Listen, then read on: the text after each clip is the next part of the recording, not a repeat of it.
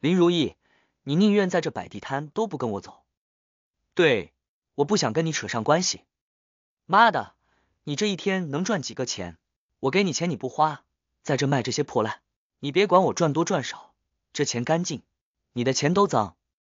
小区西门的商业街，各种店铺，各色商品琳琅满目。我站在一个卖串串香的摊位前，正在挑着吃的，就听见不远处的一个摊位传来的争吵声。循声望去，只见一个流里流气的小青年正在跟一个摆摊卖香水的姑娘拉拉扯扯。小伙儿，别多管闲事。那个男的隔三差五就来骚扰那姑娘，我们管过几次，都差点被他打。串串香的老板煞有介事的说着，我知道他也是好心劝我，不想我惹麻烦，但是我却微微一笑，把挑选好的串串递了过去。就这些了，老板，麻烦您算一下多少钱？好嘞，一共十四块五，你给十四块钱吧。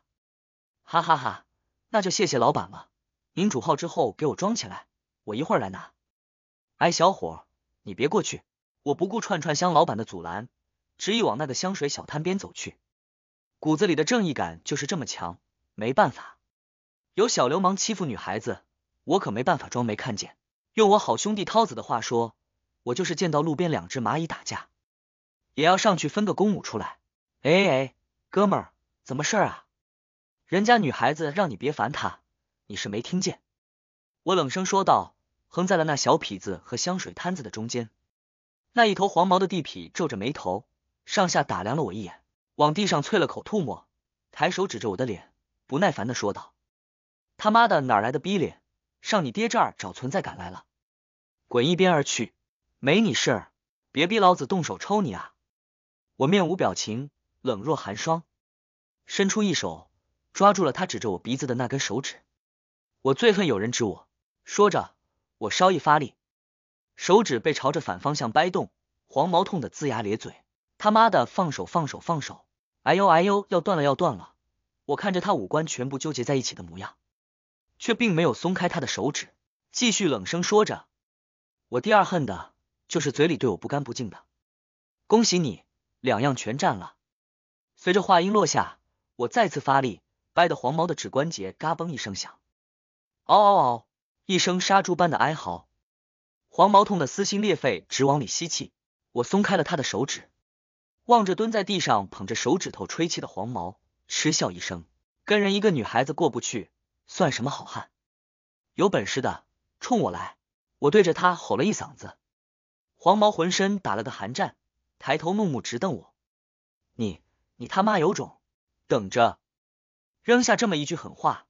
这黄毛就落荒而逃了，临走还不忘逼逼一句：“这种货色就这点出息了。”我望着他的背影跑远，冷笑着摇了摇头：“好，小哥你做的好啊，我们早就看他不顺眼了。”就是什么玩意儿啊那人！随着黄毛远去，周围的商户摊主都对我报以了热烈的掌声，所有人都是对我赞不绝口。我微微一笑，向他们点头示意，我并不需要他们的认可。见义勇为只是我的一个爱好而已。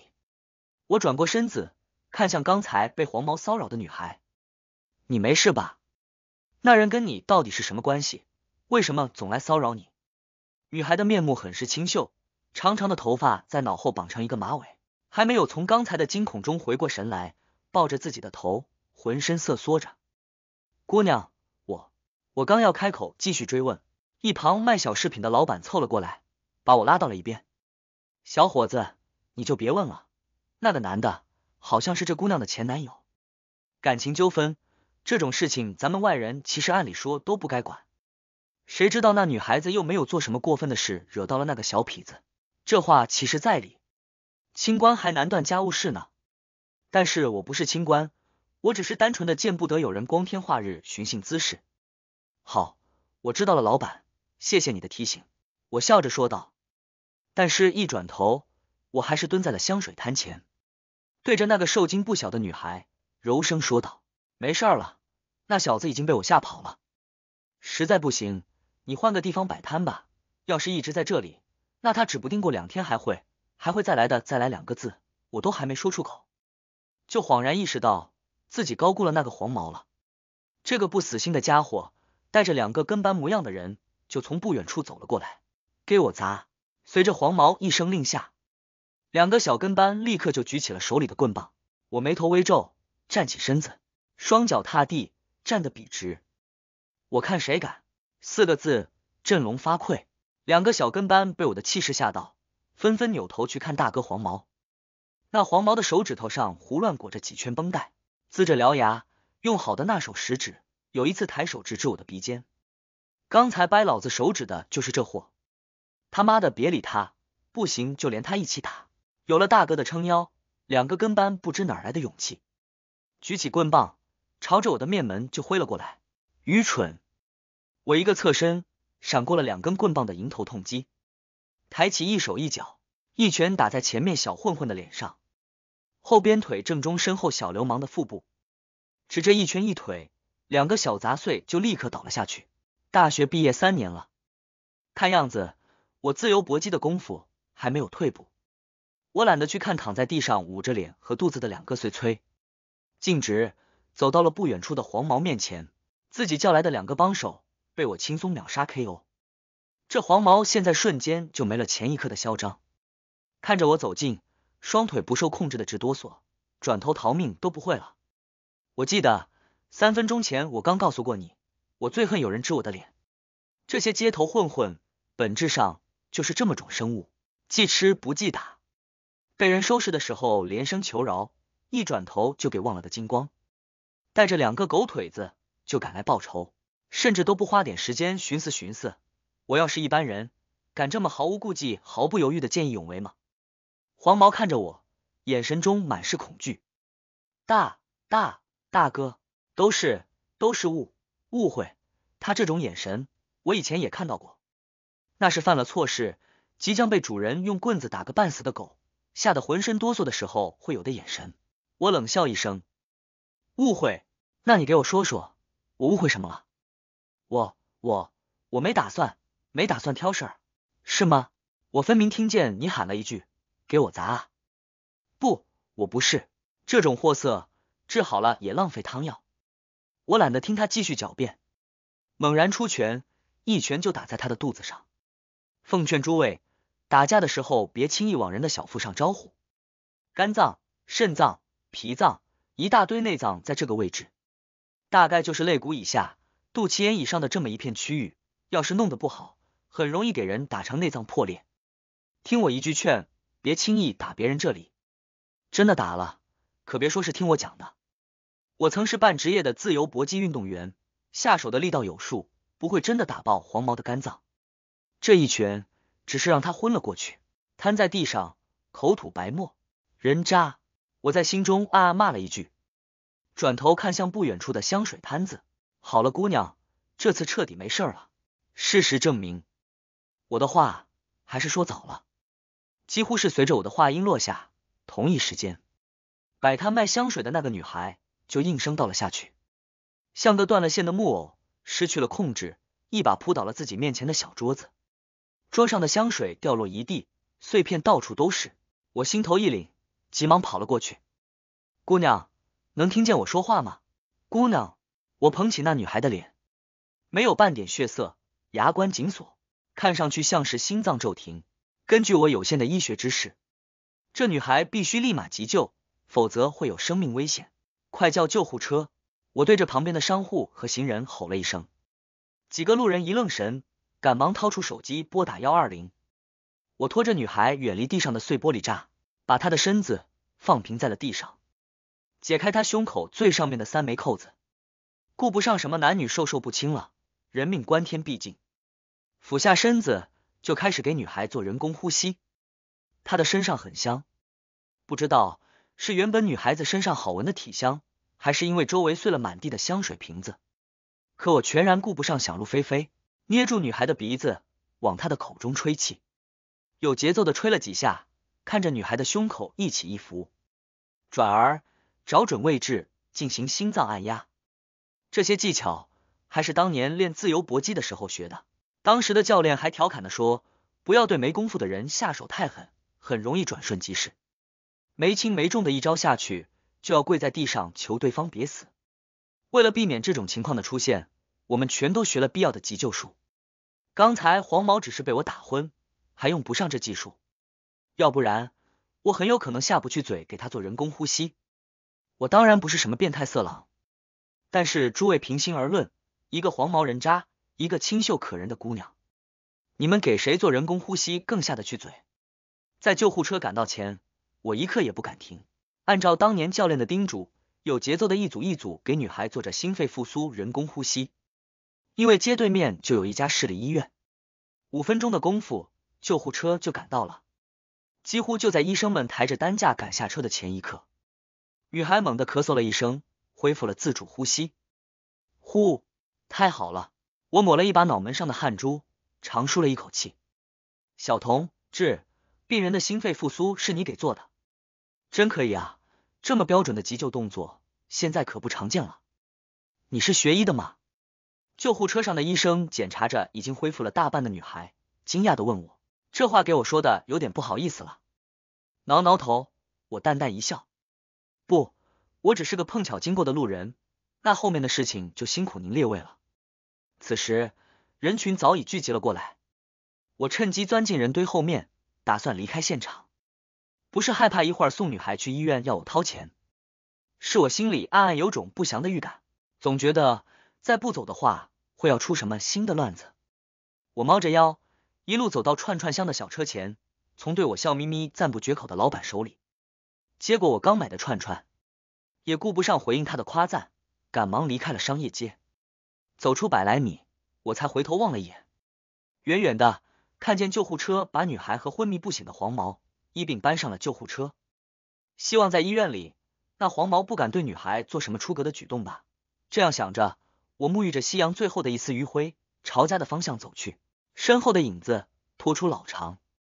今天我帮了一个女孩，免受流氓的侵扰，心里美滋滋的，甩着手里串串香的袋子，哼着小曲儿回了家。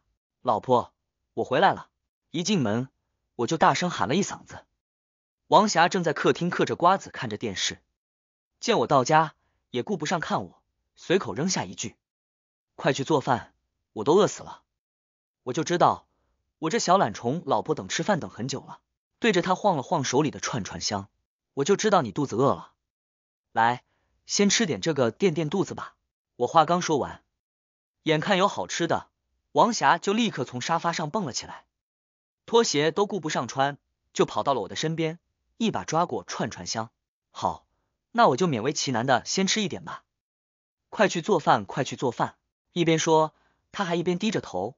跟推一座大山一样推着我的身子往厨房去，就好像要是不赶紧催我，我就不做饭了一样。你别推我了，我又不会不给你做饭。我宠溺一笑，转头看向王霞，她的表情有些古怪，眉头微皱，看看我，又看看我的衣服。慢着，李浩东，你身上怎么这么香？可能是因为见义勇为之后心情太开心了。直到王霞这么一说，我才意识到。自己还真是全身上下都是香水味儿，而且还不是单单的一种香水。那女孩的摊子翻了之后，几十种香水瓶子全部都碎了，那些香味混合在一起，粘在了我的身上。怎么说呢？那味道说不上难闻，但是闻起来就是怪怪的。王霞见我有点愣，脸上立刻浮现出了讥讽的笑容。哎呦呦，我闻着你身上至少有十几种香水的味儿啊，李浩东。你这是跟多少个妹子亲密接触了，还敢回来见我呢？等等，说着，王霞就凑了过来，捏着我的下巴，两只眼睛盯着我的嘴唇，像是发现了新大陆一样，瞪大了双眼。你现在真的是长本事了呀，跟别的妹子亲过嘴儿，连嘴上的口红都不擦掉，就这么回来？你是以为你老婆是瞎子吗？他这话说的，我一愣一愣的。什么叫我的脸上有？我知道了。一定是人工呼吸的时候粘上的。当时情况实在太过危机，如果不及时做人工呼吸，等到救护车来，就已经错过了心脏骤停的最佳抢救时间。我哪里管得上那么多，直接就对着女孩的嘴巴做了人工呼吸。一定就是在那个时候，她嘴上的口红就蹭到了我的嘴上。不是，老婆，你听我解释，这件事情真的不是你想的那样。我刚要解释，却见王霞抬起了一只手。打断了我的话。行了，别解释了，解释就是掩饰，掩饰就是一定有事。李浩东，你现在是不是觉得我老了，没有魅力了，不如外面那些年轻漂亮又浓妆艳抹的年轻女孩子？你要是真这么觉得，你大可以大大方方的直接告诉我，跟我离婚，用不着带着一身的香水和一嘴的口红回来挑衅我。瓜田李下这个成语，小学的时候就学过了，但是我是直到那一天，刚过了自己二十九岁生日不到一个月的时候，才真正明白这句话的意思。我的心里其实是没什么不满的，仔细想想，确实怨不得王霞产生怀疑。虽然他对我刚才说的话十分难听，但我还是决定不跟他计较。你信也好，不信也罢，这些都是误会。我刚才给你买串串香的时候，遇到一个流氓欺负一个摆摊卖香水的女孩子，就出手帮了人家一把，结果他的摊子翻了，香水洒了一地，他又突然心脏骤停。我给他做人工呼吸，这才在嘴唇上染了口红。事情就是这样。我淡淡的说完，伸出手擦掉了嘴巴上的口红印。看着我的这一举动，王霞笑得更加阴冷了。那你现在才把口红擦掉，算怎么回事？要真像你说的，你是做了见义勇为的好事，那干嘛要把口红擦掉？李浩东，你讲故事的水平真是越来越好了。说罢。王霞就直接把手里的串串香往地上一扔，鲜红的辣卤汤汁立刻就流了一地。我看着他转过身，快步走回了我们的卧室，砰的一声把门关上，留下我一个人在客厅里，看着满地的油和冷掉的串串香发呆。那一大堆香水混合在一起的味道，现在已经充斥了整个房间。我这才明白过来，让子弹飞里的六子被人冤枉吃了两碗粉是什么心情。海口莫辩的我长叹了一气。拿来拖把清理干净了玄关处的油污，缓缓走到房间门口，敲了敲门。老婆，你出来听，我跟你好好解释一下，行不行？当时的情况你是没有看到，那个女孩子的状态十分危险，如果不给她做人工呼吸，她很有可能就错过抢救时间，送不到医院就一命呜呼了。我相信，如果是你在现场，你也绝对不会对她袖手旁观的。沉默，安静。房间里没有一丁点动静，看样子王霞是完完全全的不相信我。我苦笑了一下，老婆，你要是不相信，咱们等会儿一起去一趟那家医院，就在西门小吃街的对面。那女孩儿就是被送去了那里，咱们一起去看看她。还有啊，刚才在西门的小吃街，很多商户老板都看到了我见义勇为的事，他们都可以为我作证的。我的话音刚落，就听到一阵急促的脚步声。王霞飞快的从房间里走出来，脸上带着满满的怒气，编，继续编，你再多编几句我就信了。你是不是拿我当傻子呢？你见义勇为把人送到医院，一分钱都不留，人家能让你走吗？你以为医院是做慈善的吗？没有钱办入院手续，人家会负责免费救人。你到底还要骗我到什么时候？这次我彻底没话说了，因为如果不是王霞告诉我。我自己也没有意识到这个问题，卖香水的摊子生意能有多好呢？那个女孩身上还不知道有多少钱，够不够支付医院接她去急救的费用？要是不够的话，万一女孩被从医院里面赶出来怎么办？当时我只想着要赶紧离开现场，离开那个是非之地，全然没有考虑这些。现在回过头想想，自己做的还真是不够到位。老婆，我我刚开口想要说什么？王霞就再一次砰的一声，当着我的面把门关上了。这一次，她关门的力度比上一次还要大。房门卷起的风把我的刘海吹得乱飞，我就那样站在门口，在风中凌乱着。难道见义勇为还是我做错了吗？我这老婆怎么就这么无理取闹呢？这话我只是在心里想了想，并没有说出口。但是王霞似乎能感应到我的脑电波一样，在房间里隔着房门对我喊了一嗓子：“李浩东。”你要是觉得我无理取闹，那就麻烦你去换一个不对你无理取闹的老婆。咱们明天就去民政局离婚。听到离婚两个字，我傻了。当然，这不是我第一次听到这个词。虽然我没有统计过，但是我十分确定那一个月，我已经从王霞的口中听到过至少十次这个词了。我的好老婆，隔三差五闹点小矛盾，就要用离婚做威胁。但是其实我知道她的心里不是当真要跟我离婚。只是气头一上来就控制不住自己的情绪，什么话都说得出口了。我俩刚处对象的时候，他就动不动说要分手。自从两年前结了婚，他就开始动不动要离婚。刚开始的时候，我听到分手和离婚这样的字眼，心里还会怪不好受的。听多了也就还好。气话谁都会说，谁也都有情绪不受控制、想要宣泄的时候。但是不知怎的，我能感觉到他刚刚那一句离婚和之前每一次都不一样，这次他是认真的。当然不光是感觉了，我听到他在房间里。从床底下拉出了一个行李箱的声音，然后就是各种化妆品的瓶瓶罐罐碰在一起的声音。他已经在收拾行李了。以往我们吵架，不论吵得多厉害，他说分手也好，离婚也好，从来没有真的收拾过东西要走。这次却不同，看样子他是动真格的了。我原以为我们六年的感情已经形成了一种默契，就是生气的时候，他说什么气话，我都随他说，反正知道他不是认真的。只要不付出真正的行动，那就一切都好。但是这次他似乎是真的要跟我离婚了，我心里的火气也一下子窜了上来。好，离婚就离婚，王霞，我们从认识到现在六年的时间，你对我的信任就这么不堪一击吗？你觉得我是一个会出完轨、劈完腿，还带着一身香水味和嘴上的口红回家找你的人？那就离婚好了。说完这番话，我直接迈着大步离开了家门。用比他前两次关房门的力度更大的力量，直接把防盗门甩的一声巨响。我家在十二楼，那天我气的甚至没有坐电梯，直接爬楼梯跑到了外面。愤怒、委屈、不甘，各种各样的情绪在我的心中五味杂陈。我们俩的关系到底是从什么时候开始变成这样的呢？还记得大学毕业实习的时候，我们俩在同一家公司认识，那时候的王霞还是个乖巧懂事的小女生。不仅对我嘘寒问暖，而且十分通情达理。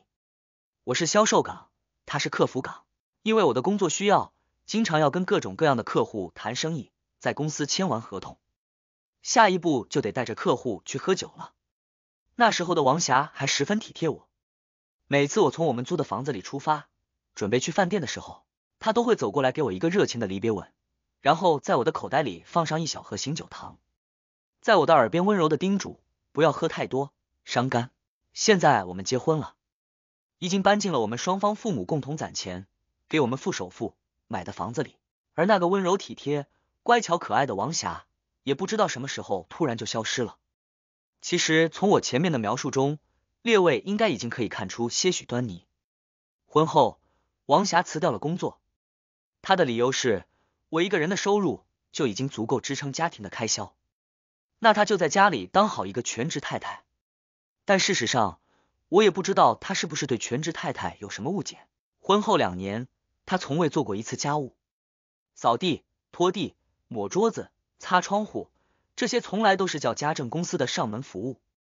买菜、做饭、洗衣服，这些全部都是我的活。每天晚上下班回家，我都能看到王霞翘着二郎腿，躺在沙发的贵妃靠上看电视，笑得跟个傻子似的。见我回家，没有拥抱和亲亲，更没有一句“老公上班辛苦了”，只有千篇一律的催我去做饭。我从来没有提出过异议，因为严格来说，这是我们在恋爱时我对他许下的承诺。结婚后我养你，当时拍着胸脯的保证。现在结了婚，发现他是真的不赚钱，也不干事儿，我也不好说他什么。要是我敢指责他一句懒散，他立马就会说：“不是你说好的要养我吗？”怎么现在不愿意了？我都能想象到那样的画面。逐渐的，我就习惯了这样的生活。但是今天晚上，我实在是无法平息心中的怒火。以往我们吵架闹别扭，大多是因为我做的饭不合他的胃口，或者是给他洗衣服的时候没有注意区分，把他的裙子给洗皱了。大都是这种无关紧要的鸡毛蒜皮的小事。我每次只要想一想，我是个爷们，他是个娘们，能让着他的地方。我就多让让他，睡上一觉，第二天也就什么事都没有了。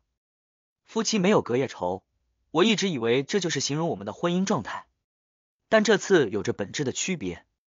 生活中闹矛盾、闹摩擦在所难免，但是如果我们彼此之间缺乏了信任，那就是撼动了婚姻的根本。仅凭着我身上的香水味和嘴唇上残留的口红，马上就能一口咬死我，是做了对不起他的事。我突然开始疑惑，这样的婚姻还有持续下去的必要吗？我得是多蠢的一个人，在外面干了偷鸡摸狗的事情，衣服都不换，嘴都不擦的就回家见老婆。但凡王霞稍微动动脑子，也能明白，这根本不合逻辑。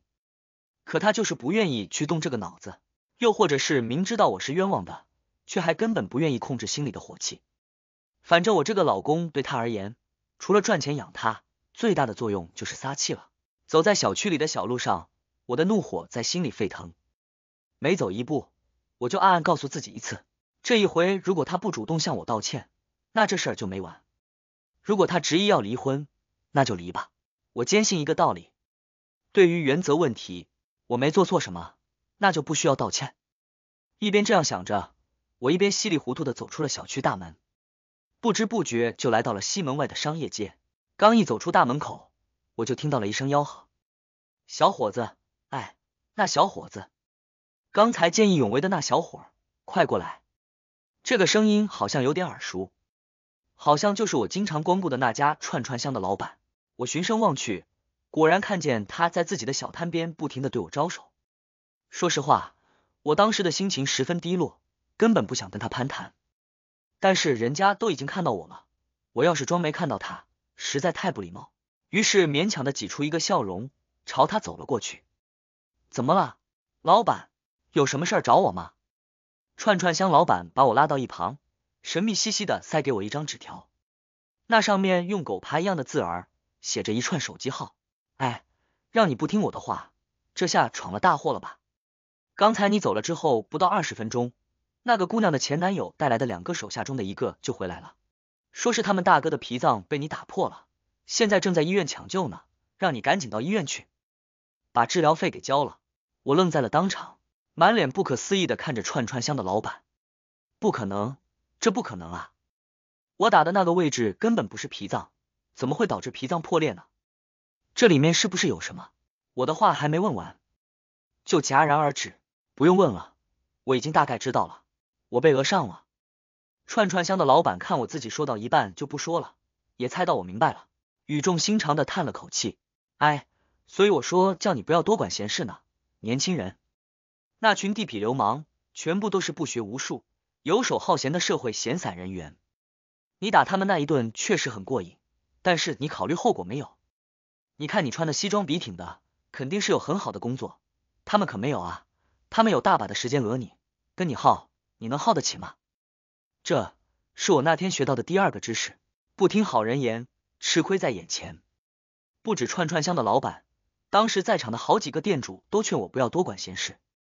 我就是没听，就是把这件事给管了。好了，现在被讹上了，我有些迷茫的看着老板。所以说，我见义勇为还做错了吗？老板撇了撇嘴，无奈的摇了摇头。小伙，我不是说你见义勇为有错，你啊，这叫惹了狐狸沾一身骚。好了，事情已经这样了，你在这儿傻站着也没用，快去医院看看那人吧。这件事说起来，其实还是要怪我自己的盲目自大。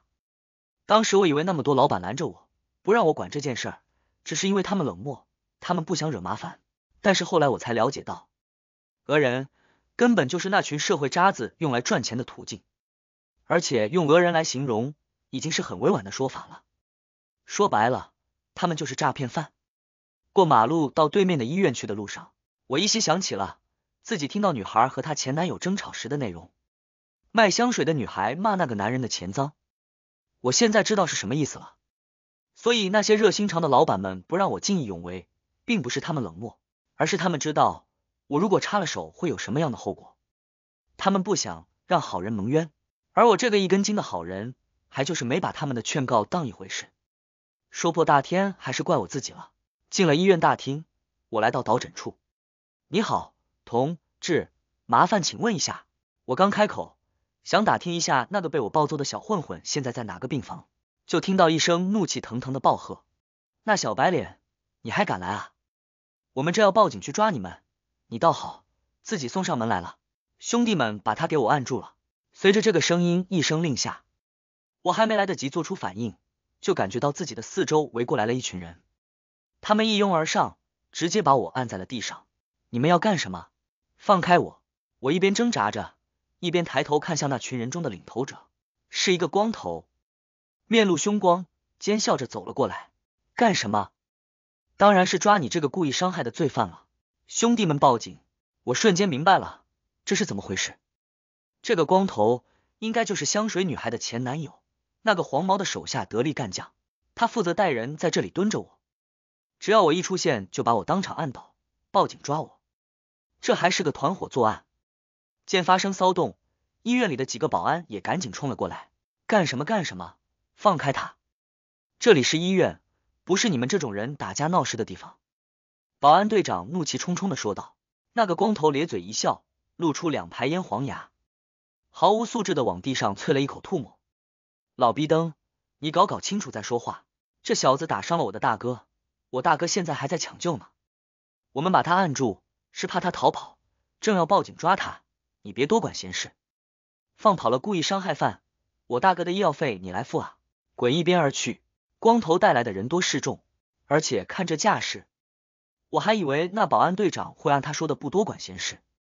然而让我没有想到的是，今年这都第几回了，你们心里没个数吗？怎么就总是你们的人挨打？这次是你们大哥，上个月是你们什么老三？上上个月又是什么九叔和五爷？你们是拿我们医院做提款机了吗？好家伙，我他妈直呼好家伙！要不是听保安队长这么说，我还真不知道他们的业务做的这么大呢。这是一个十分成熟的诈骗讹人团伙，如果我没猜错的话，他们的行为路线是很一致的。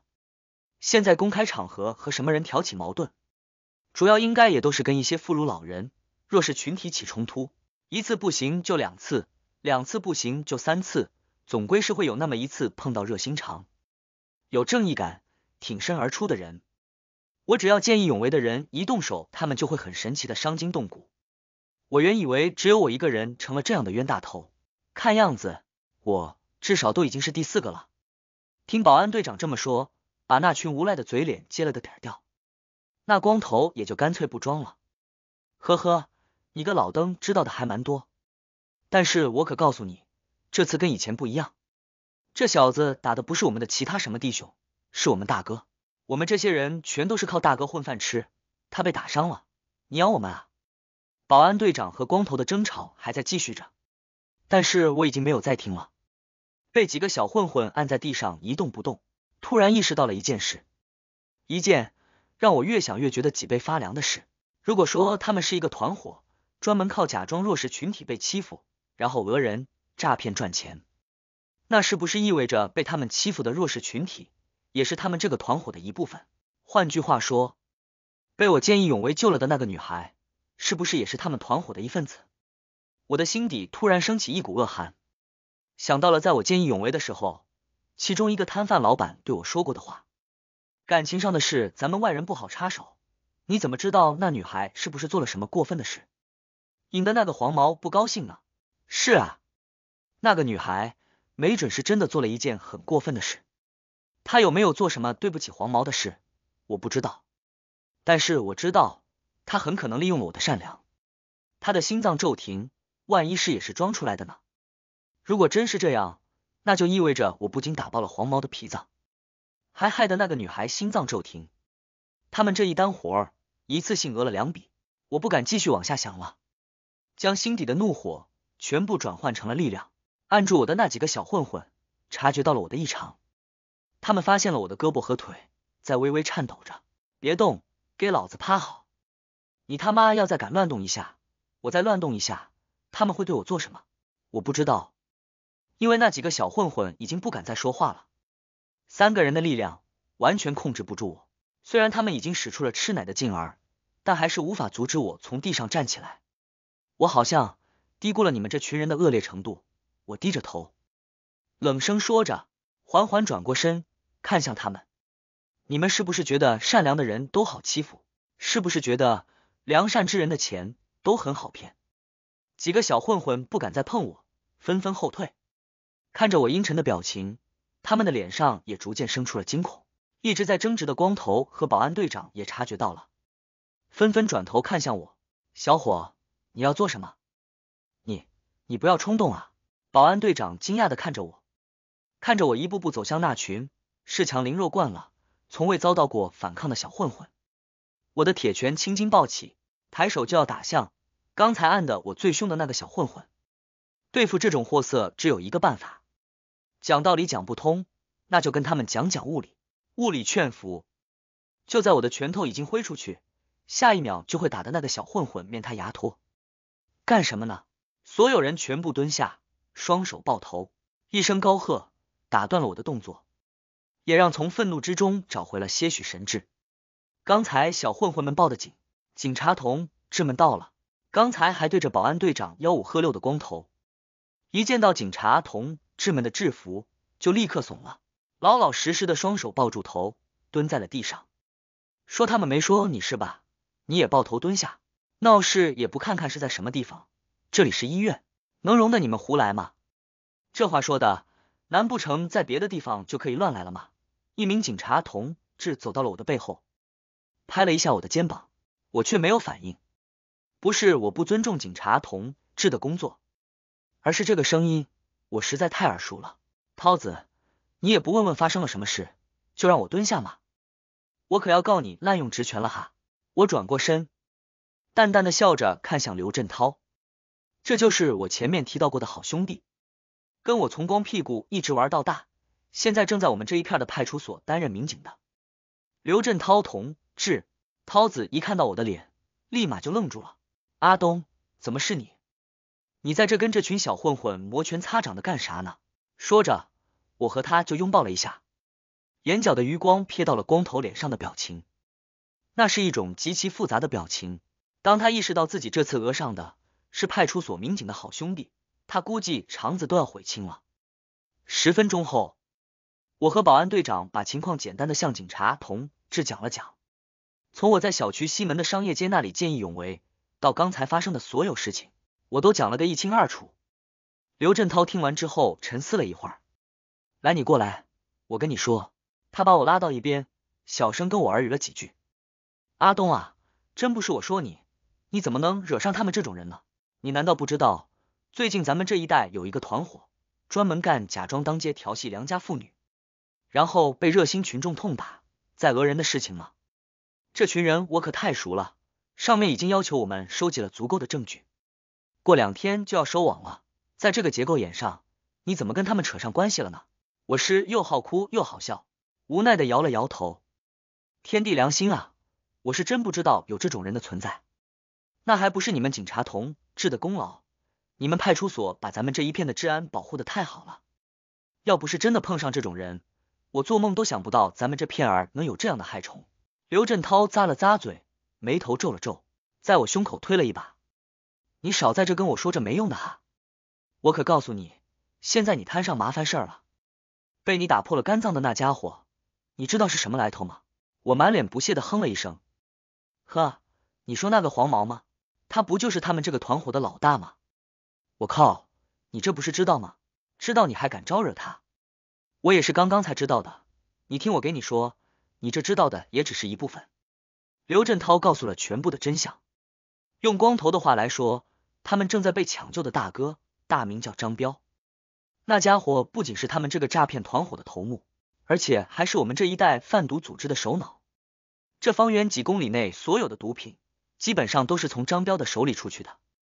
敲诈勒索只是他业务中的小头，他的大头是只要被抓住就罪无可赦，必有一死的贩毒。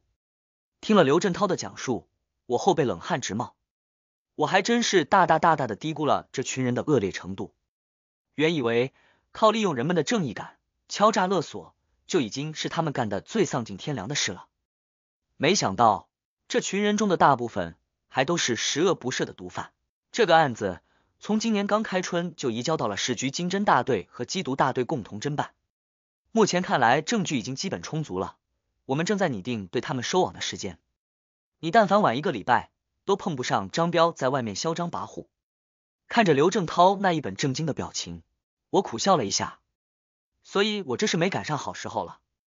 话也不能这么说，你这顶多算是四十九年被常凯申剥削的最后一个老百姓。呵呵，这有什么区别吗？行了，别嘴贫了，这件事你甭管了，交给我们来处理。刘振涛说着，拍了拍我的肩膀，示意我赶紧走。可一直蹲在地上，偷偷拿眼睛瞟我们的光头，眼看我要走，立马不乐意了。等等等等，警察叔叔，就这么把他给放走了吗？这小子把我们大哥的脾脏给打爆了，现在我们大哥还在抢救呢。你要就这么把他给放走了，那不就是徇私舞弊吗？当心我投诉你啊！刘振涛满脸厌恶的看了他一眼，那是一种看垃圾的眼神。你小子是当真准备就这件事儿跟我唠唠是吧？你们大哥干了什么事儿才被人家打？你心里没点数是吗？在闹市欺负一个女孩子。你们还有理了？人家那是见义勇为，也不知道光头是哪来的勇气。他还当真，满脸不服气的跟刘振涛叫上板了。我们大哥怎么就欺负女孩子了？那个叫林如意的小妞是我们大哥的马子，他们顶多是情感纠纷，轮得到他一个外人出手吗？我大哥对那小妞一没动手，二没砸他摊子，怎么着？小情侣斗两句嘴，就算是欺负女孩子了是吗？兄弟们。你们评评这世上有这样的理儿吗？被光头这么一吆喝，围在他身边的一群地痞流氓们也都不知道哪里来的胆气，纷纷随声附和着。没有，就没听说过这样的理儿。警察办事不公，包庇自己朋友，这天底下还有没有王法了？整个一帮无赖！刘振涛的火气也上来了，我看着他，伸手摸向了自己腰间的太色枪，都给我住口！这里是医院。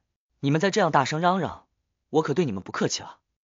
他这话不说还好，听他这么一说，一群流氓们都像是被打了鸡血一样，纷纷此起彼伏的叫嚷了起来。大家快看啊，警察要打人了！我们大哥被人打成重伤，他们不管，还把凶手直接放走，现在还要把我们也开枪打死。警察打人了，警察打人了，场面一时间失控了。晚上的医院里人虽然不多。但还是围了很多路人看过来。刘振涛这是被顶到杠头上了，他的手已经握住了太色枪的枪把，但是迟迟没有把枪拔出来。现在这样的情况，他开枪也不是，不开枪也不是，骑虎难下。我轻叹了一气，走上前去拍了拍他的胳膊。算了，涛子，今天这事儿算我倒霉，碰上这么群粘牙的家伙。我现在要这样走了，也的确是不合适。咱们就直接有什么事儿办什么事儿吧，别为了我让你难做。刘振涛看向我，眼神中满是为难。可是这没啥可是的，涛子，我理解你们的苦衷。我们做警察的，要是让好人寒了心，那还算什么人民公仆啊？没事儿，你别往心里去。是这群东西太混账了。我安慰了他几句，转头看向了一旁的导诊台，那个值班的小护士早就看傻了。坐在椅子上，大气都不敢喘一口。我笑着，尽量最和善的语气问他：“同志，麻烦您受累给查一查，那个叫张彪的，现在手术结束了吗？如果手术结束了，他现在在哪个病房？”虽然包括刘振涛在内的所有警察同志们都知道这件事情究竟是怎么回事，但是从法律的角度来说，光头他们顶多是有些涉嫌在医院里大声喧哗，并没有做什么违法乱纪的事情。所以万般无奈之下，只好对他们进行了批评教育，就把他们撵走了。我亲眼看着那群小混混们走出医院时欢呼雀跃的样子，仿佛在庆祝着一场酣畅淋漓的胜利一般。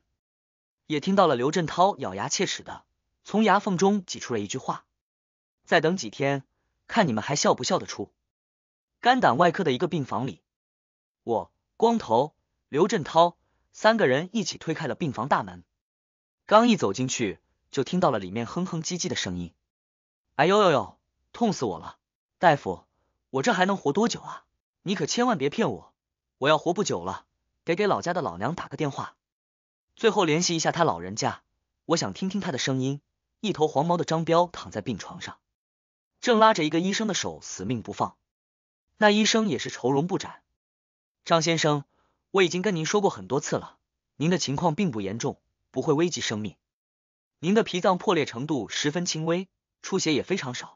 刚才我们的手术十分成功，您后续只需要服用一些止血药，再住院观察一段时间就可以了。虽然医生这话说的已经十分精确明了了，但是张彪好像没有打算这么轻易放他走。哎呦喂，大夫你就别骗我了，我的肚子啊，现在疼的快要炸开了。我总感觉自己今儿晚上一闭眼。明天就睁不开了。不愧是一群无赖的头子。在医院里，对着刚给自己动过手术的医生，张彪也能这么无赖的嘴脸。医生张了张嘴，还想要说些什么，刘振涛率先走了上去，把医生挡在身后，冷眼瞪着张彪。张彪，你小子最近演戏是演上瘾了是吧？前段时间才因为跟别人老婆偷情，被人家告到派出所里，在所里跟我装失忆装了半天，怎么着？现在这会儿又装上弱势群体了。一看到刘振涛的脸，张彪就立马老实了，乖乖的松开了医生的手，脸上挤出一个难看的笑容。我我没有啊，刘警官，您瞧您说的，我是那样不知羞耻的人吗？今儿个我是真的被人打成重伤了，刚下手术台，这会儿疼的正厉害呢。话说到这儿，张彪这才注意到在刘振涛身后的我和光头，只看了我一眼。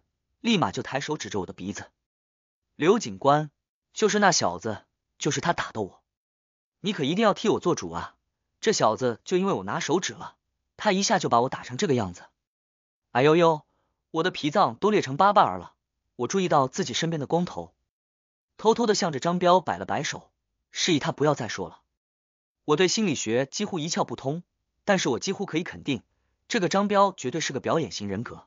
他完全不管自己的手下对自己的暗示，还假装疼的龇牙咧嘴的捂着肚子，嘴里不干不净的说着些对我的辱骂之词。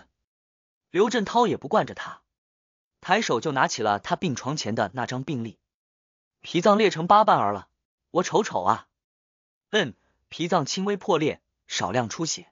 张彪，你对裂成八瓣儿是不是有什么误解？还跟我搁这儿装呢？放下病历。刘正涛的眉头紧紧的皱在一起，伸出一根大拇指，指了指身后的我。还有，你知道见义勇为把你给揍了的这哥们儿是谁吗？他可是当年全国大学生运动会自由搏击项目的银牌。我告诉你，他说要打断你的第七根肋骨，就绝对不会伤到好的第八根儿。他下手的时候，能不知道你的脾脏在哪吗？如果以他的力道，真的一拳打在你的脾脏上，你的脾脏可得碎成八十瓣都不止。听到这话，张彪才算彻底傻了眼，满脸惊恐的看着我。他他，显然他是没有料到自己这次额上的是个硬茬子。刘振涛一手扶着床头柜，一手指着张彪的眉心。我告诉你，如果你坚持认为是他把你给打坏了，行啊，那咱们就去验伤，看看你的伤到底是怎么来的。如果最后验伤的结果证明不是他打的，还没等刘振涛的话说完。张彪就立刻满脸惊恐的连连摆手，不用了，不用了，刘警官，不用这么麻烦了，我我老实交代，是我在医院下担架的时候摔了一跤，磕在门口而上了，我差点没忍住笑出来，摔一跤能把自己的脾脏摔破的，我可是只听说过他这么一个，这恐怕能被列入世界吉尼斯纪录了。刘振涛转眼看了我一眼，和我交换了一个会心的眼神。继而将目光落在了旁边的光头身上。好了，现在你大哥没有问题了，你还有问题吗？光头被吓得面色煞白，倒抽了一口凉气，也学着自己大哥的样子连连摆手。没有了，没有了，警察叔叔，我没问题了。那个全是误会啊，都是误会。转身他就对着我连连作揖。不好意思啊，兄弟，误会你了。你大人不计小人过。不要跟我一般见识！我冷冷的翻眼瞥了他一眼，这话你别跟我说，跟警察同这说去吧。我怎么记得刚才你在大厅里喊了好几嗓子警察打人了呢？我的话刚说完，还没来得及等光头去向刘振涛道歉，一双银晃晃的手铐就已经伸到了他的面前。不用，我不用你跟我道歉，我只要你为自己做错的事付出应有的代价。寻衅滋事，带人在医院里没事找事儿。他们其他人情节轻微，可以既往不咎，你这个带头的可就没那么简单了。跟我走吧。说着就给光头戴上了手铐。听着咔吧一声响，我分明看到那光头浑身瑟缩了一下，满脸绝望。铐上了光头，刘振涛还不忘扭头瞪了张彪一眼。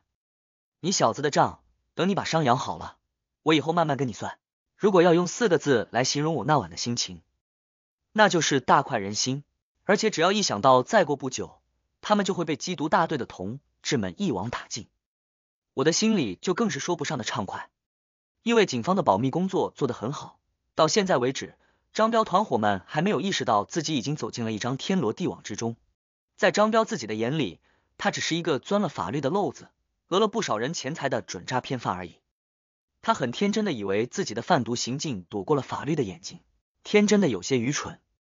医院的大门外，刘振涛让同事把光头押上了警车，转头看向我：“阿东，今晚给你受累了。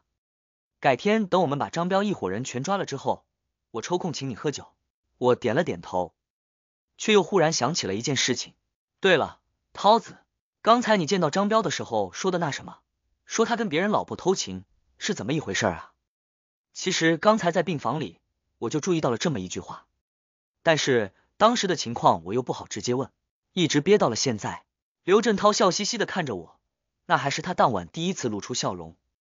嗨，你说那个事儿啊，说起来还真挺可笑的。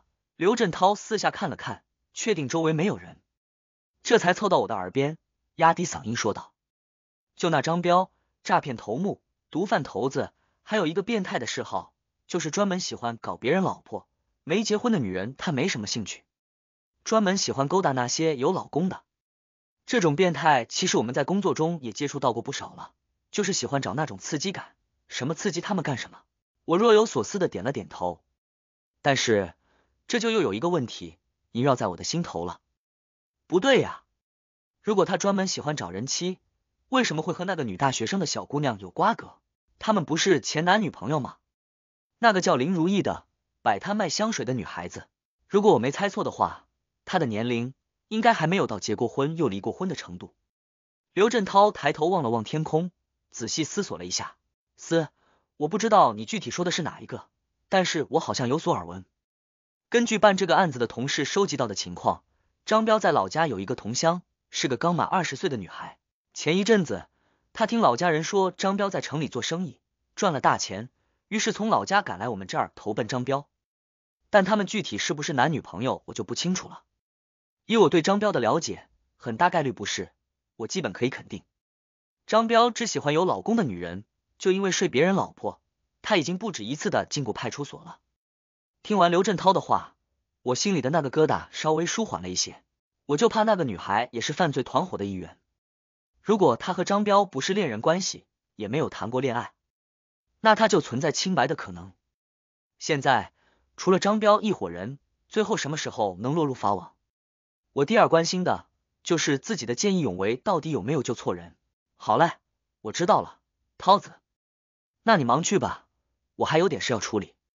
目送刘振涛坐上警车开走，我转身又走回了医院里。刚才导诊台的那个小护士见我进来。匆忙放下了手里的手机，眼神中有些畏惧的看着我。你好，先生，请问有什么可以帮您？在他眼里，我到底成什么人了呀？我清了清嗓子，尽量温柔的问道。那个，可以麻烦您再帮我查一个患者的病房号吗？林如意和肝胆外科的张彪一同被送来的，应该是心脏骤停。急诊病房门外，我看着门牌号上写着的患者名字，林如意。下面还有一行手写的小字：先天性心脏病，心脏骤停。我不知道怎么形容自己当时的心情。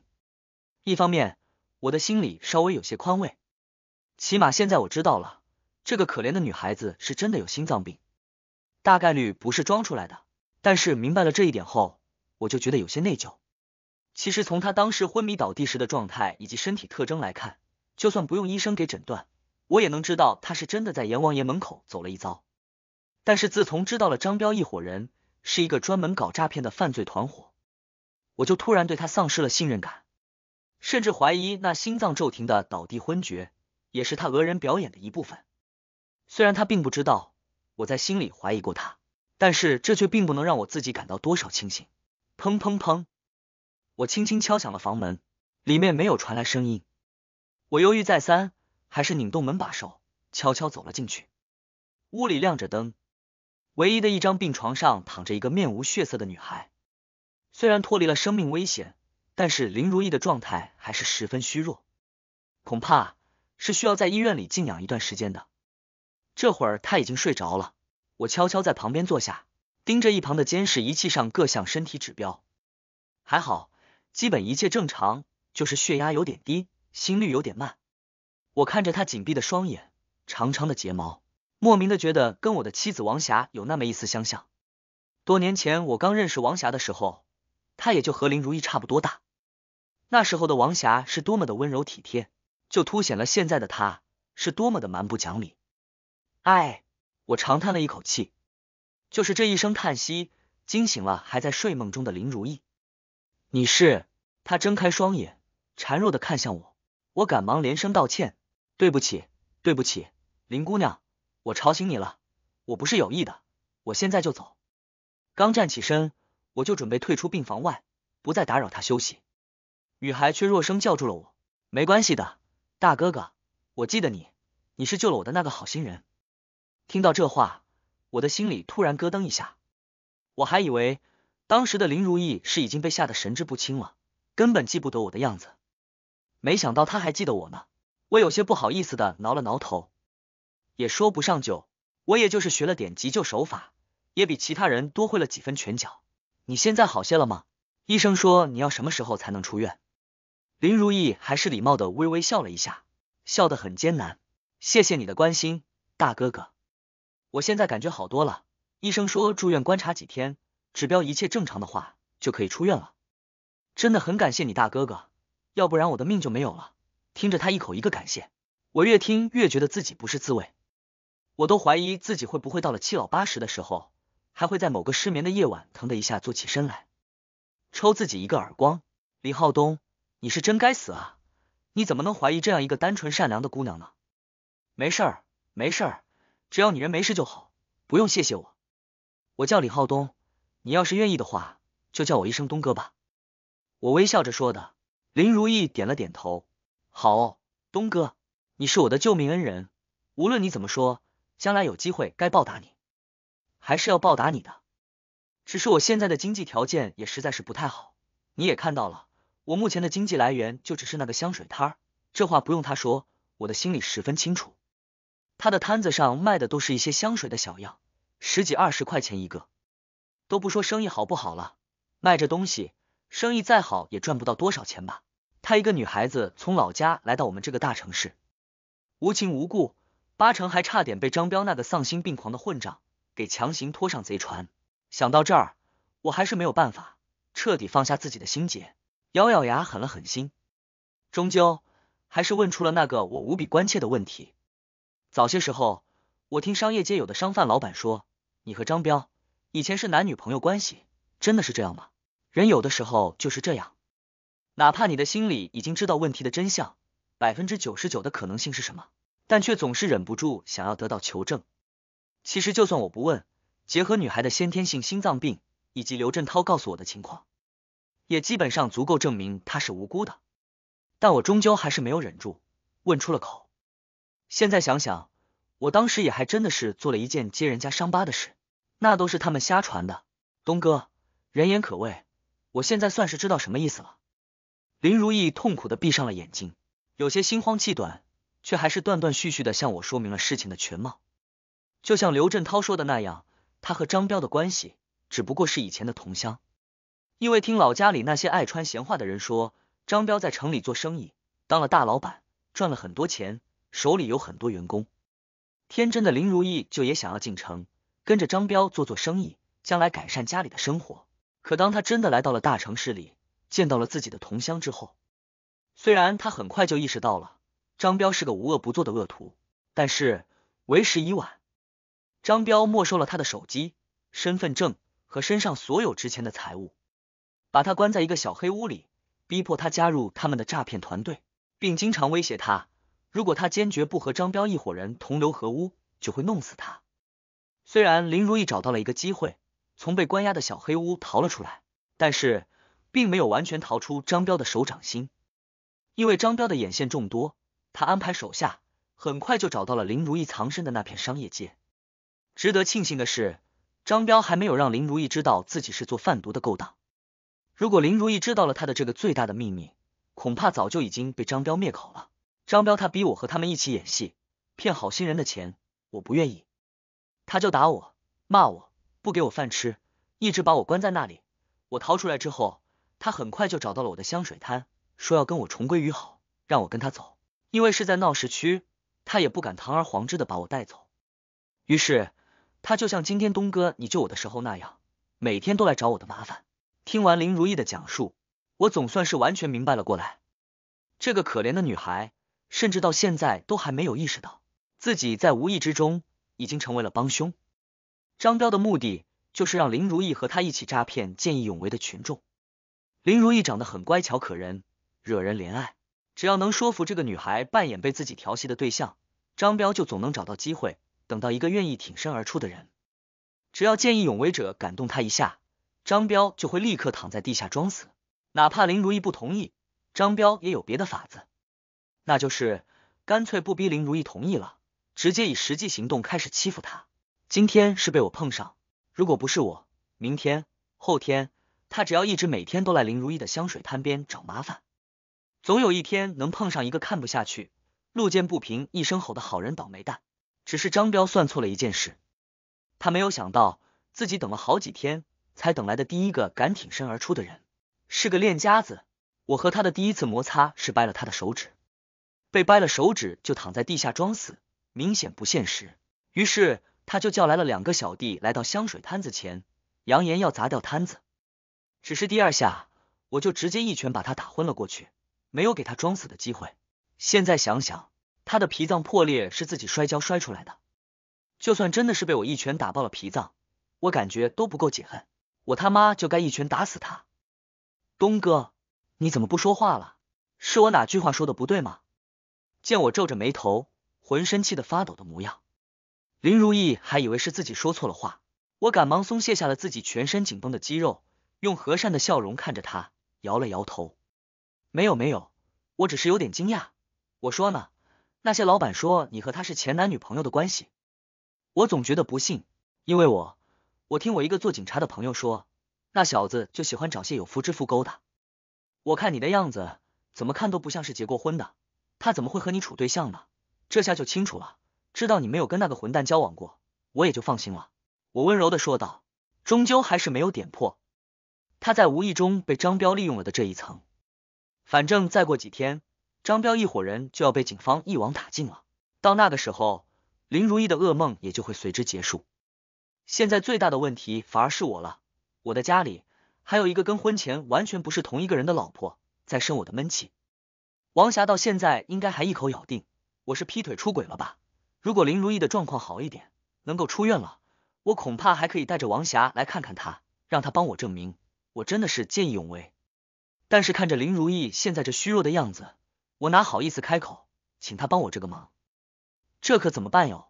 林如意还在小声的说着，嘿嘿，东哥，你那位警察朋友的消息还真灵通。没错的，张彪那个坏蛋就是喜欢抢人家老婆，而且他不光喜欢勾搭。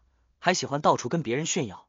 我记得他到火车站接我的那天，还跟我瞎掰自己勾搭了一个在老公保险公司上班、结婚刚满两年的全职主妇。他前面的话我都没怎么听，但是听到这，我就突然警觉了起来。是我想多了，还是我听错了？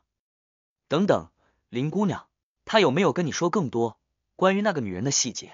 我的目光忽然严肃了起来。林如意没有过问，我为什么要追问这个？闭上眼。认真想了想，最终还是摇了摇头。时间过去太久，我记不太清了。我只记得那个女人的老公是保险公司上班，职位好像是什么总监。对了，我想起来了，他说他曾经到那个女人家里，趁着女人的老公上班的时候，在人家的床上偷情，还说那个女人家里客厅墙上挂了一个很大的十字架。我不记得自己那天是怎么离开的医院。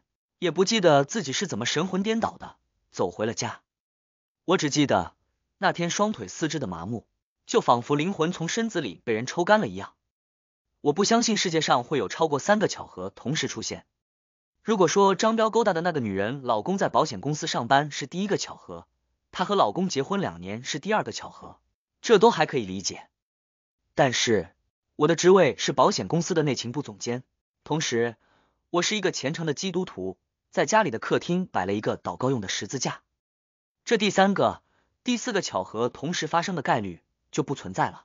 全市有几个保险公司，有几个内勤部总监，在我们中是基督徒，在客厅挂十字架的又有几个？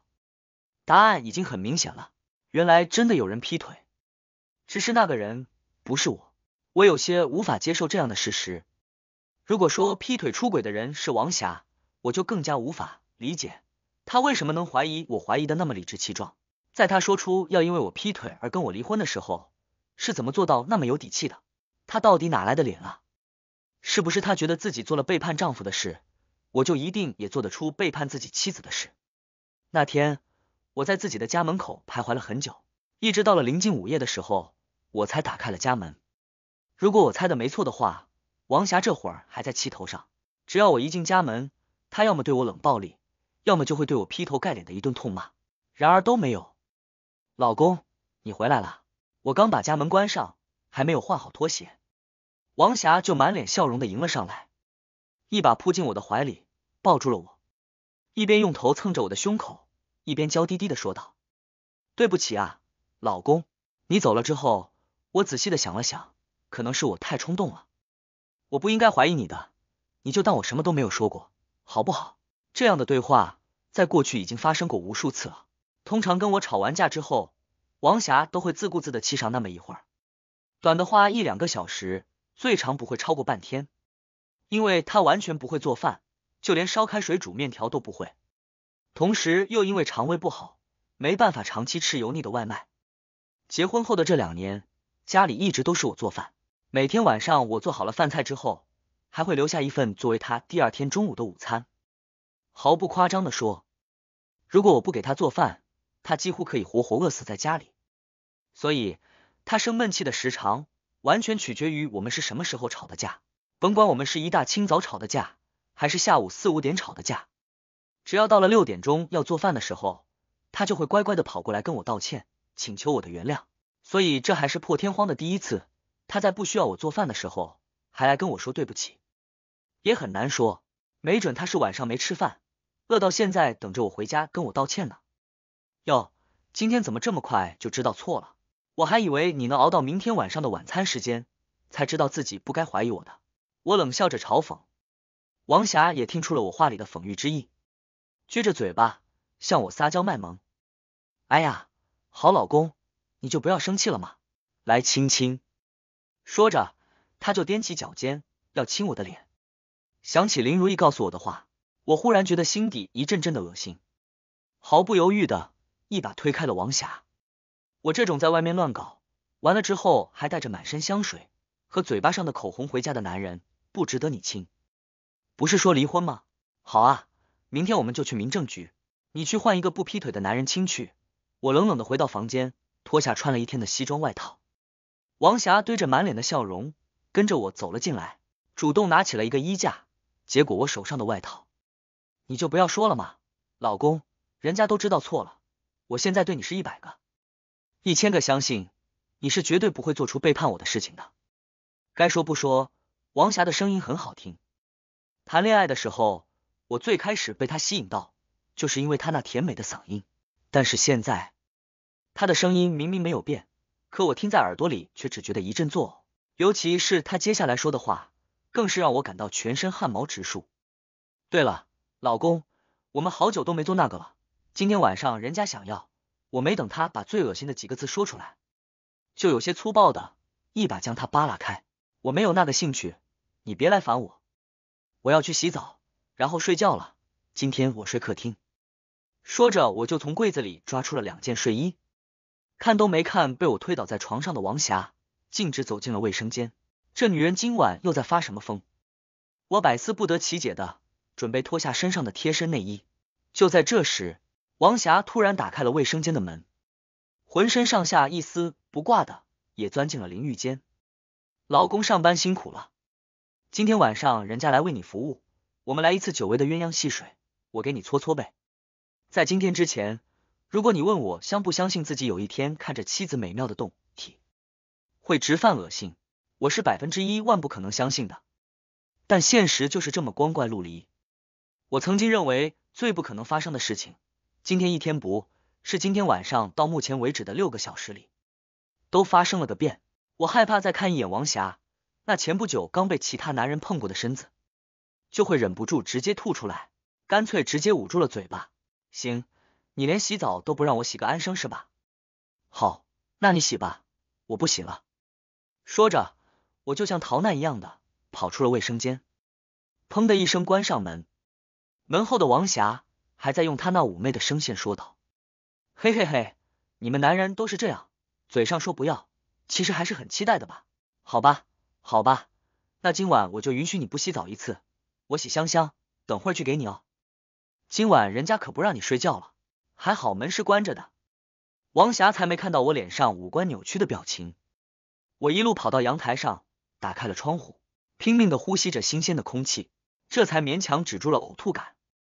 为什么？到底为什么？我绝对不相信这个女人是真的良心发现，意识到自己之前对我的大吼大叫和怀疑是错误的，绝对是有什么其他的原因。这样想着，很快我就打定了一个主意。不光是结婚之后，就包括谈恋爱的时候，我都从来没有查过王霞的手机，因为在我看来，信任是一段感情维系的基础。如果我的女友、我的妻子是一个值得信任的人，那我根本不需要检查她的手机。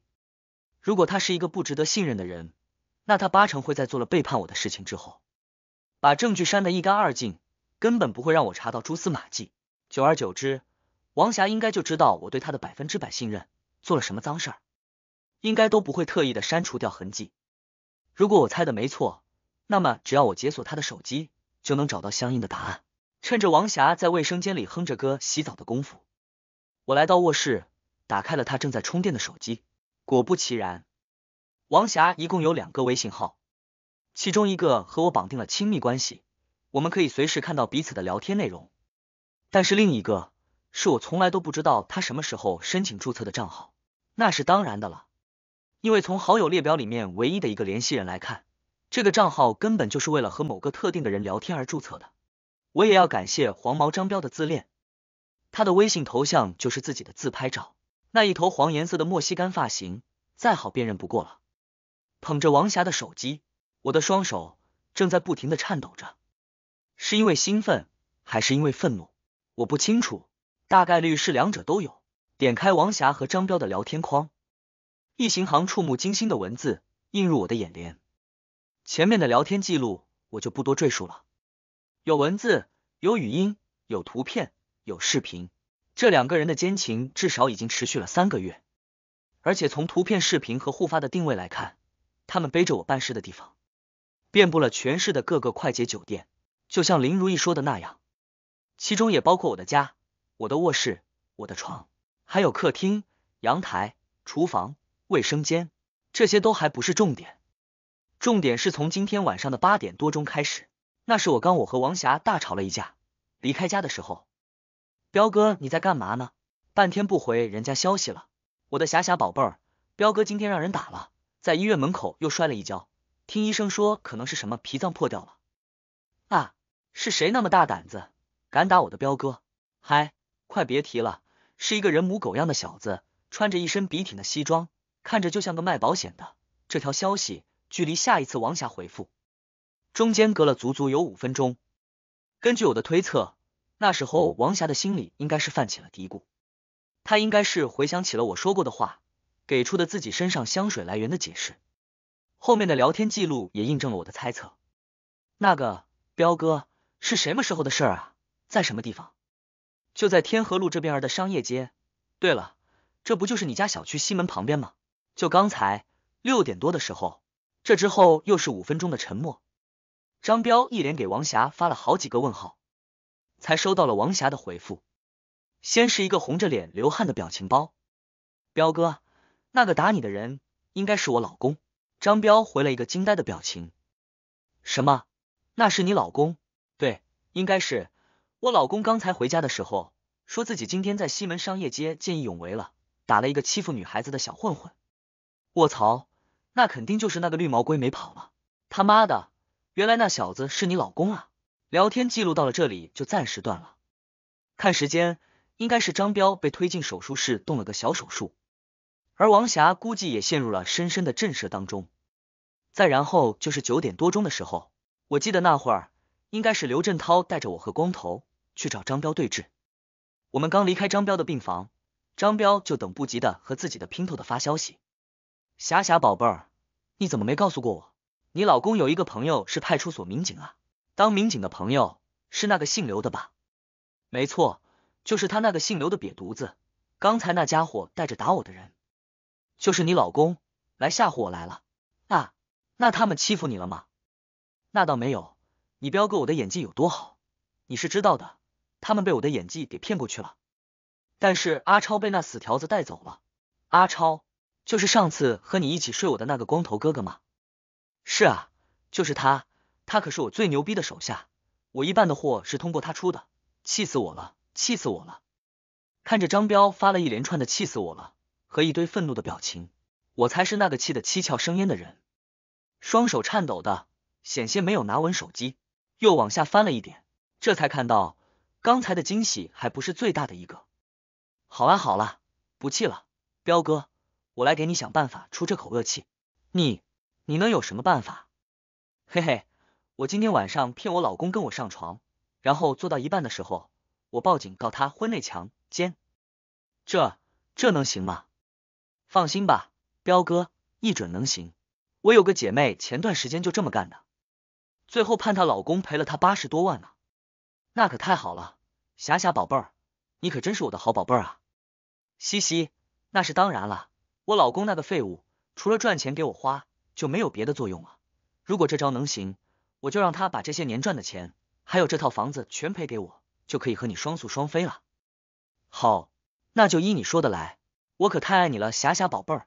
我的手术很成功，明天就能下床了，病房里又只有我一个人，你明天上我这儿来吧，我们还没在医院里做过吧？明天来一次，一定很刺激，刺激，真刺激，这可太他妈刺激了！我忽然笑出了声。人在被愤怒冲昏头脑的情况下，有时候就是会笑出来的。就在我看完了今晚王霞和张彪的聊天记录之后，刚放下他的手机，还不到三秒钟，老公，人家洗好了，我们开始吧，今晚让奴家好好伺候老公吧。就在刚才那三秒钟的时间里，我的脑子转得飞快。一个详细的计划已经在我的脑海中成型。我没有搭理王霞，直接走到了衣柜前，拿出刚放进去还不知道有没有二十分钟的西装外套，重新穿上。我刚接到消息，公司 APP 出了问题，很多用户反馈无法正常查询保单。现在要去一趟机房，检查一下是不是服务器的问题。我今晚不回来了，搞完之后就在公司对付一晚。你早点睡吧。说罢。我全然不管王霞懵逼的表情，三步并作两步就走过了客厅，再一次摔门而去。和上一次一样，我没有等电梯，直接跑下了十二层楼，一边跑还一边拨通了给刘振涛的电话。喂，啥事儿啊，阿东？都这么晚了，涛子，我有个事儿要问你，你可不可以告诉我，你们暂定的抓捕张彪一伙人的具体时间是在什么时候？什么？你问这种事情干什么？这是局里的最高机密，我怎么可能告诉你呢？也是啊，那这么的吧，你就告诉我明天中午十二点之前，张彪会不会被逮捕？这有点够呛，怎么了？出什么事了？你问这个干什么？面对刘振涛的一连串提问，我的内心忽然一阵狂喜，顾不上回答，解释起来很复杂。总之，只要张彪明天上午十二点前都还是自由身，这事儿就好办了。王霞的家就是我们市的，只不过不是市区，而是住在农村。开了一个多小时的车，我来到了他们村口。我在王霞父母家的前面等了一宿。第二天一早，刚过七点，这老两口有每天早上出门买菜、遛弯儿的习惯，我就坐在车里，双眼死死的盯着他们家的单元楼。看到那岳父岳母熟悉的脸，我就立马窜出了车，装作自己也是刚到的样子。爸妈。你们快跟我走！我刚到，就正好碰到你们了。我火焦火燎的来到岳父母的面前，他俩一见是我，还吃了一惊。浩东，怎么是你啊？你今天不上班的吗？我装出一副被急得焦头烂额的样子，眉毛拧作一股绳儿。都什么时候了，我哪还顾得着上班啊？对了，你们还不知道，快上我的车，跟我走吧。王霞她出车祸了，现在正在医院呢。这就是我计划的第一步，把岳父母骗上车，我从后视镜里看着他俩脸上焦急和惊恐的表情，眼见岳父拿出手机，好像是准备给女儿打电话，我赶忙拦住了他。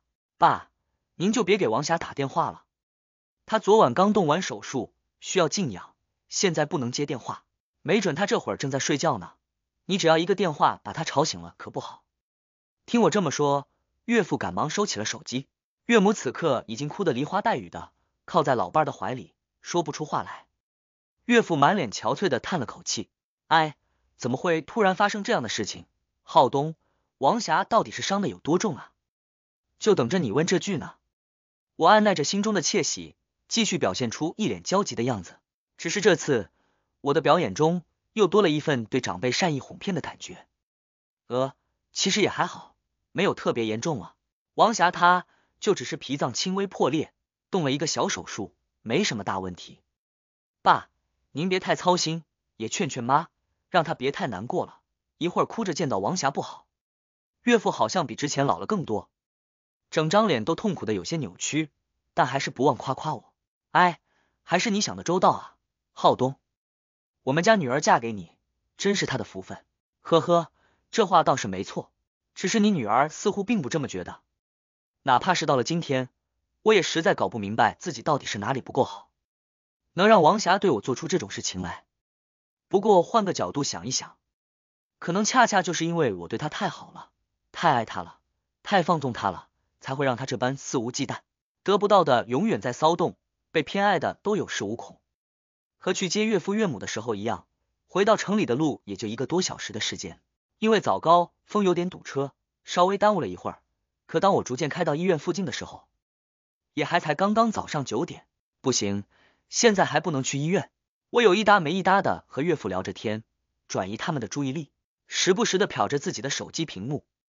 我在等待一个信号。终于，当我在二环路上开着车转了三四圈之后，叮，一声清脆的新消息提示音，屏幕亮起，显示来自联系人刘振涛的一条新消息。鸟进笼子了，太棒了！看到这条事先和刘振涛约好的暗号，我这才一脚油门。原地掉了个头，朝着医院的方向开去。到了肝胆外科的住院区外面，我假借说要到护士站先登记，让岳父岳母在外面等了一会儿。实际上我是走到了张彪病房的外面，小心翼翼的把耳朵贴在了病房的门上，听里面的动静。霞霞宝贝儿，你可算来了，快来让我摸摸。讨厌了，彪哥这么猴急，我能不急吗？我的宝贝儿，就这些天快给我憋坏了。昨天还被你老公气成那个鬼样子。好了好了，今天人家好好陪你爽一回。我的嘴角微微上扬，好戏可以开场了。回到住院区外，我对岳父岳母说道：“爸妈，王霞睡着了，一会儿我们进去的时候小心一点，不要吵到她。”岳父点了点头，岳母也好不容易控制住了自己的情绪，拍了拍我的胳膊，小声抽泣着说道：“谢谢你啊，姑爷，还好有你在，不用客气。”这应该也是我最后一次喊你们爸妈了，我在心里暗暗想着，嘴上却没能说出来。都是一家人，您跟我客气什么呀？走吧，咱们一定要小点声。来到张彪的病房门前，我看着岳父当真小心翼翼的拧开门把手，几乎没发出一点声音的推开了病房门。这老两口上了岁数，耳朵不太好。我在门外，反正听里面的外迷之音听得万分真切，这老两口愣是没听到。我后退了两步，嘴角抑制不住的上扬。三、二、一，倒数三声。王霞，你在干什么？你不是出车祸了吗？病房里，王霞被自己父亲的声音吓了一大跳。爸，您怎么来了？啊，我不是，我没有。他后知后觉的，这才意识到自己的身上大汗淋漓，一丝不挂，胡乱抓过了几件衣服盖在自己的身上。张彪也慌了神，误会了，叔叔阿姨，误会，误会。沉寂了几秒钟，岳父那震耳欲聋的咆哮声在整个住院区久久回荡。我误会你妈个头！我欣赏着眼前这出好戏，还不忘记用手机给刘振涛发了一条消息：搞定，收网。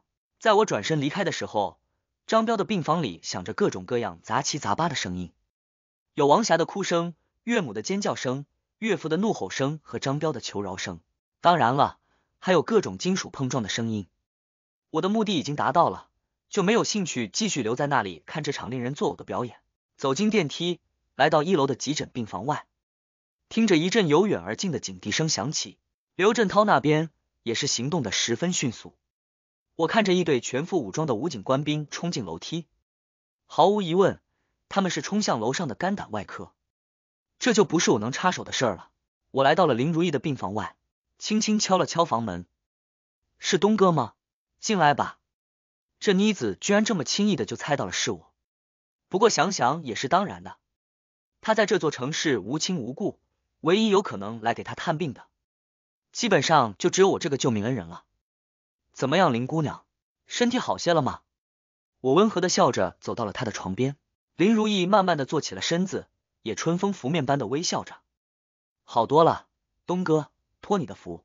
对了，你也不要叫我林姑娘，直接喊我如意就好了。我嘿嘿一笑，行，依你。如意，这个你拿着。我从口袋里拿出一张银行卡，放在了他的病床头。如意吓了一大跳，赶忙推脱着，不行不行，这是万万不行的呀，东哥，我的命是你救回来的，怎么好意思再拿你的钱呢？绝对不行。我释怀的笑了笑，十分坚定的把卡塞进了他的手里。行了，你就别跟你东哥我撕巴了。你身上也没多少钱，住院这段时间的费用开销可不低呢。拿着吧，里面没多少钱，才刚刚过五位数而已。要不是你告诉了我最重要的情报，我损失的可就远远不止这么一点了。这最后的一小句话，我只在心里想，没有说出来。有时候人知道的越少越幸福。看着林如梦纯真的容颜，我实在是不忍心告诉她这么揪心的故事。她没有再跟我拉扯，勉强算是收下了那张银行卡，但脸上还是满满的不安。东哥，你对我这么好，我实在不知道该怎么报答你。嗨，昨天就说了，不用想着报答我的，你没事儿是最重要的。等你把身子养好了以后，有的是机会赚钱。大不了这算我借你的，以后还我就是了。可是。就我那个小香水摊子，多长时间才能赚到这么多钱啊？关于这个，我还真给你想了个办法。两个月后，这两个月的时间里发生了很多事。首先是我和王霞离婚了，因为我们结婚之后的所有财产全部都是我一个人赚的。虽说我们的房子首付，当时他的父母付了一部分，但是那天在张彪的病房里，老两口亲眼目睹了自己的女儿是个多不要脸的婊子之后。就再也没有提房子首付的事情，当做是给我的一点补偿了。算他们老两口还是好人，只是不知道怎么教育得出这样的女儿来了，真不够丢人的。其次就是张彪的下场，这个其实不用我说，各位看官应该都是能猜得到的。贩毒罪、诈骗罪等等等等，数罪并罚，对张彪来说，已经不是判不判死刑的问题了。他所犯下的罪孽，足够用机关枪扫射十分钟的。我甚至有些好奇，到时候他的死刑是一枪崩了完事儿，还是真的架起一个加特林对着他哒哒哒哒哒？不光是他，整个犯罪团伙全部都被一网打尽，一个没落。在刘振涛同志在内的辖区民警的努力下，社区又恢复了往日的宁静与安详。西门的商业街的生意也和原来一样，从早到晚热闹非凡。只是。我再也有看到过林如意和她的小香水摊，看着那个空荡荡的摊位，地上还有些那天被打碎的廉价香水的色素残留的痕迹，有时候我的心里多少也会有点失落。自从两个月前的那次见义勇为之后，我的整个人生都彻彻底底的发生了改变。我从没有想过一次简单的见义勇为会造成这样复杂的后果，但是有一件事是可以肯定的。如果我没有出手帮助林如意摆脱张彪的纠缠，没有去当那个富有正义感的冤大头，我至今仍然被自己的妻子蒙在鼓里，还不知道他偷偷的当了大毒枭的姘头。无论从哪个角度看，我的路见不平，拔刀相助都是无比正确的。这天是周末，我正打算在家里看看电视，享受一下懒散的休息生活，门外却响起了一阵敲门声。打开门，一个熟悉的纯真的笑脸。呈现在我的面前，如意，你怎么来了？快进来坐。我有些激动的让出半个身位，请林如意走进了我的家里。你先坐会儿哈，我给你泡杯茶。不用忙活了，东哥，我喝白开水就好。哈哈哈，行，那我给你倒杯水。好嘞，谢谢东哥。我在厨房一边倒水，一边和如意说着。你说你也真是的，今天是周末，学生放假，你的生意应该特别好才对啊，干嘛非要挑今天来呢？得损失多少生意啊？端着水杯，我回到客厅，轻轻的把杯子放在如意的面前，也在他的对面坐了下来。如意似乎有些害羞，小脸红扑扑的，从随身的小包包里拿出了一张卡。东哥，这个你拿着，多亏了你给我出的主意，我的生意现在越来越好。这一万块钱已经可以还给你了，我有些吃惊，因为我家西门的商业街主要的顾客就都是两边的高档小区的住户，他们大概率是看不上那种廉价的香水的。但是大学城附近就不一样了，学生的生活费有限，很多女孩子都会选择一些不那么贵的非品牌的香水，所以我给林如意的建议就是让她去大学城附近的集市摆摊，看样子这主意还真是没错。她这才短短两个月不到的时间，就赚够了一万块了。好，那我就收下了。毕竟当初说好只是借给你的嘛。我知道，如果不收的话，多半会伤到这个女孩的自尊，所以十分爽快的把卡收了起来。如意的脸蛋红得像熟透的苹果，见我收下了那张银行卡，更是扭捏的摆弄着自己的衣角。那个东哥，我有个不情之请，不知当讲不当讲。其实我。还是想要报答你，就是不知道你会不会嫌弃。全文完。